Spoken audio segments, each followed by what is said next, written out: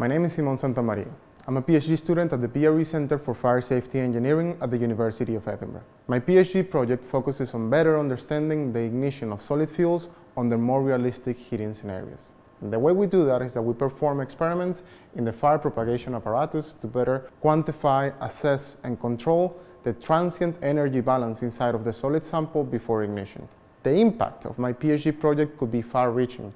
A better understanding of ignition fire growth and flame spread will allow us to better model and predict the behavior of a fire inside of a given compartment or design. Of particular relevance to the large-scale testing performed by BRE, this new knowledge will allow us to extract more information from the tests, better understand the parameters that are driving these tests, and more accurately assess the performance of the material that is being tested.